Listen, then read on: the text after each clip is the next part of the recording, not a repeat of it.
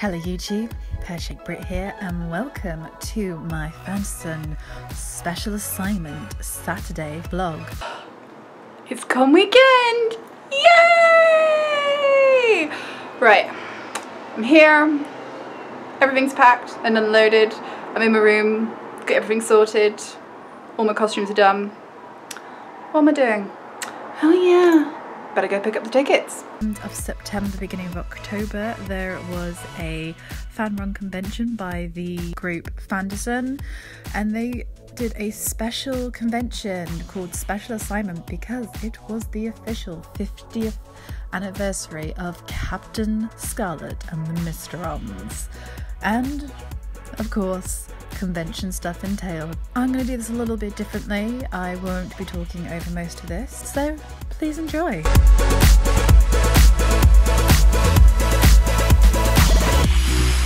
Our facsimiles, if you like, we'd not seen them, not, not our physical ones, but our vocal ones. We'd not seen them at all, and we all wished in Captain Scarlet that we had actually seen the puppets before we started. Because I don't know why, it, it doesn't really make a difference to the voice, but I think it's, there's something that goes on in the relationship between you and the puppet, you know, and, and, and the voice that you give it. And we, we only saw our puppets until afterwards, when we put, put it down, put, put the, the track down. But the difference was that, um, I mean, I've told this story so many times, if you've heard it, you can leave the room now.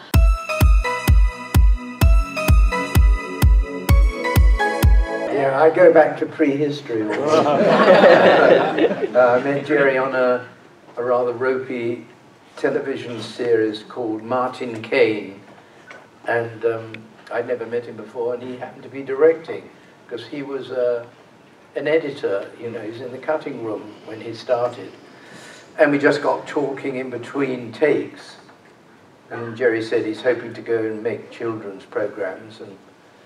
And I said, well, I'm not bad on accents. I, I lie easily, you see.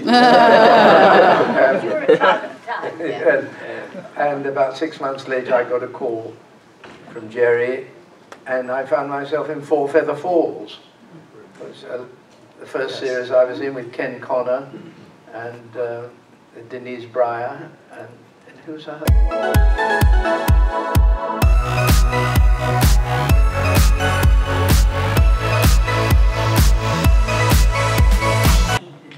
Gerry thought that the, uh, my name was Russell Corrigan.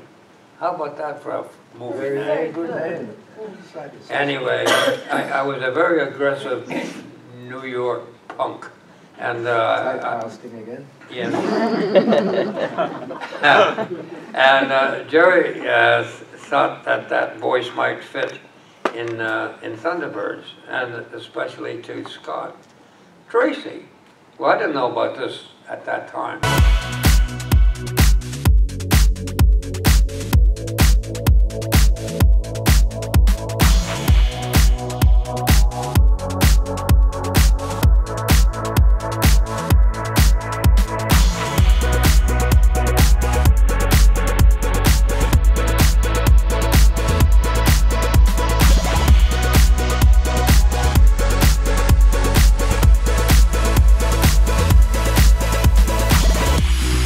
And I had a, I had a vocal group called the Three Juices. Oh, go on, have a go now. What Sing. kind of fool am I? Well done. Never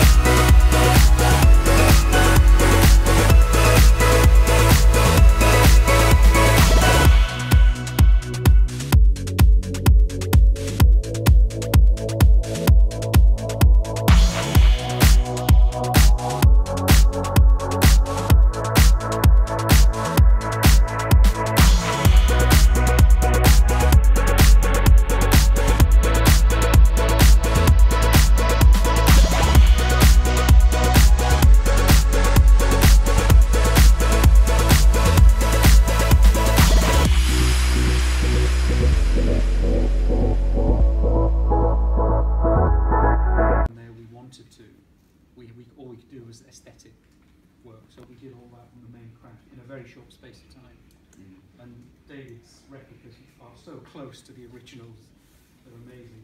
You know, the overlander particularly, Mm. Much you know, the attention to detail. Yeah. Um, So, so were, were Bandai orig- um, sort of official? uh, they were I thought perhaps they were a rip-off because you got Matchbox did like five separate Yeah, figures and Bandai did exactly the same. yeah. The only difference being the sashes. Right. I, I seem to remember that we.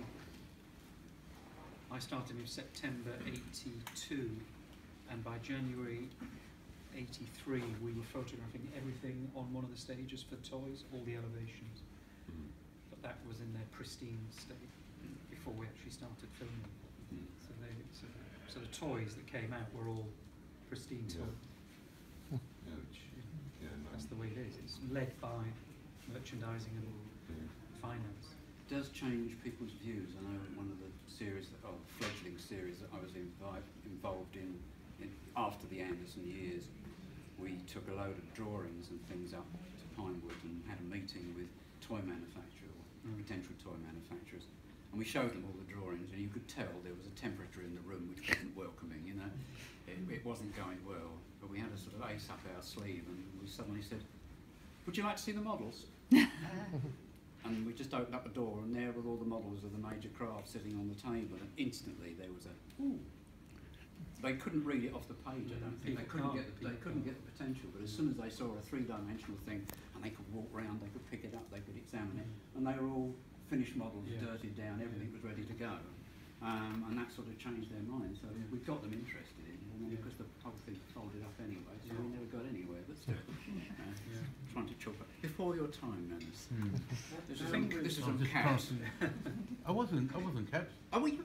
Yeah, You go back further than I thought you did. I like to think so. How much involvement did Gerry and Sylvia have in the sort of final design of the, the ships? the None. mobiles?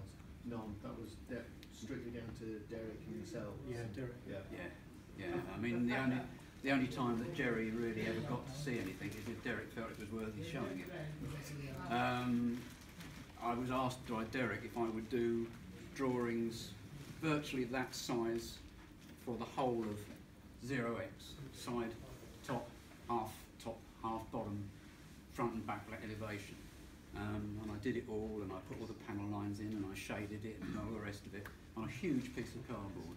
Um, and I know Derek took it in for Gerry to see.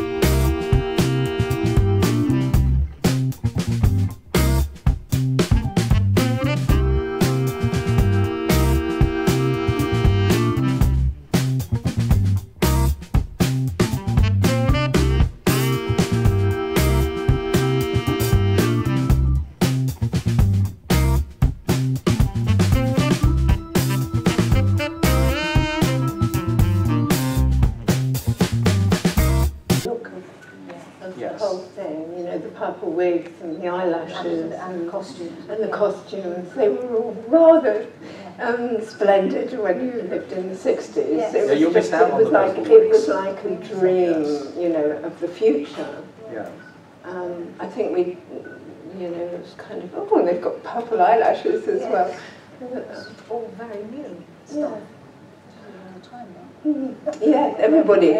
I was in the hairdressers the other day and somebody was having their hair painted purple. And I'm kind of, it, it is, we're living in that time, past that time now.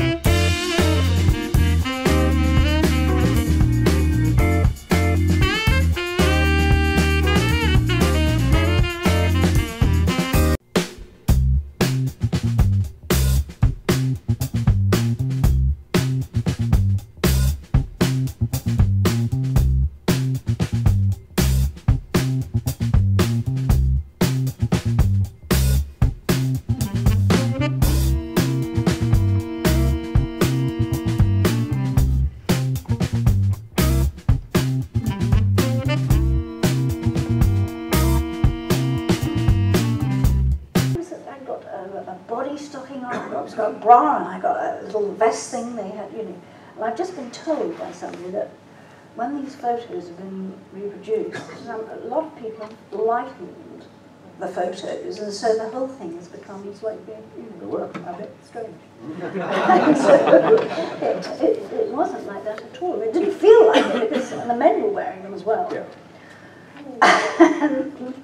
so it wasn't naughty at all. But no, I think it with, looks with the little now. black and white televisions, there was a bit of, ooh, is she or isn't Oh, she? she, oh yes, really? Oh, But with dear. Blu-ray, no, we, none of No, that. no, no, no, I just thought it, um, no, no, But how, well, how no, would you like practically? I mean, because I mean, you you've been you have trousers. I guess there's, there's a thing with science fiction costumes where Yes. oh no, I need to go to the loo. I need to give an hour's That, notice. that is very true. I think yes, that, everything was all in one as well. And Yeah. Yes, yes. So you just did. Yeah. So, Worked your day out. so was that a problem with uh, with the SHADO HQ costume? Because it's like a grey, it's like a light grey jumpsuit. Yes. Um, well, no, not really. I mean, you kind of you work around it. Yeah. uh, obviously with the coffee breaks and stuff. But um, no, no, I, I think um, I wear jumpsuits all the time now. It's a kind of, you know, but in those days it was quite um, Oh, it was. innovative Yes. Yeah. and, um, and quite shocking.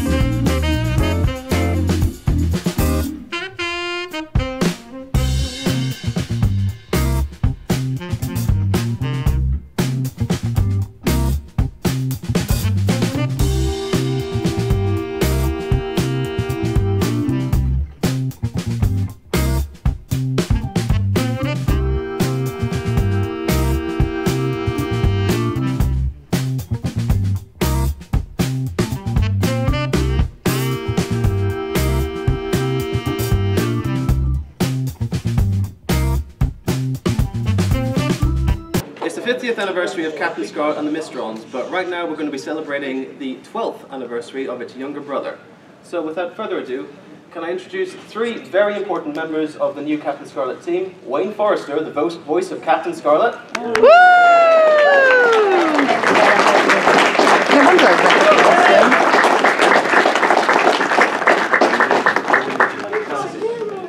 Mark Woolard, director of several episodes.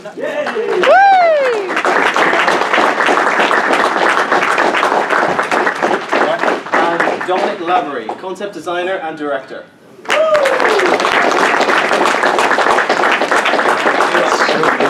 That was real.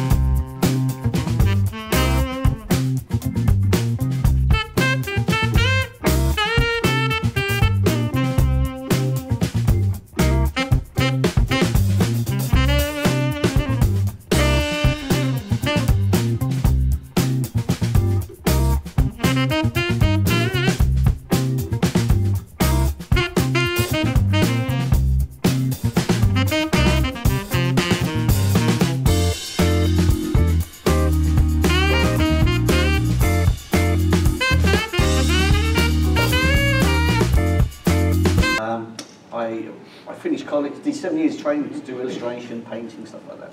And I used to do book covers, video covers, portraits, uh, chickens. Used to paint chickens. That's a very strange story. Um, Just had um, Terry Adlam talking about chickens, so it's a running theme, yes. okay. Uh, and uh, I always wanted to get into working in movies.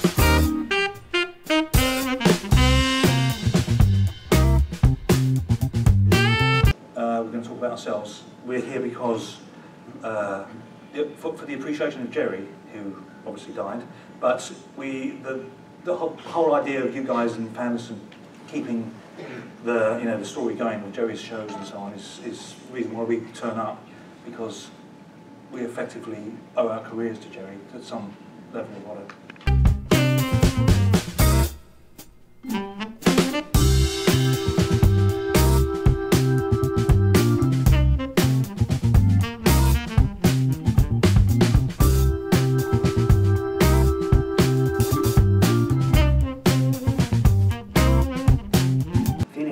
Feeling that we was a huge responsibility to you know to get this right. This, this was going to be a definitive you know TV series, Cap, Captain Scarlet, up to date.